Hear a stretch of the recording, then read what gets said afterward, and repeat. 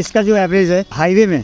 हाँ। किया करेंस ओन करते हो? तो मेरा क्वेश्चन है आपसे कि किया करेंस आपने क्या सोच के लिया? क्योंकि अर्टिगा अवेलेबल थी इनोवा अवेलेबल थी। मारुति की गाड़ी एवरेज अच्छा है लेकिन इसका जो एवरेज है हाईवे में हाँ। एवरेज निकालती है चौबीस। डीजल में आपको? डीजल में। और अभी आपने किलोमीटर कितने चला लिए गाड़ी को? चालीस के आसपास। चालीस हज़ार चला चुके हैं आप। जी। और आपको कितना टाइम हो गया लगभग लिए? नौ महीने हो गए। और सर्विस एक्सपीरियंस कैसा है? सर्विस एक नंबर की है इसकी।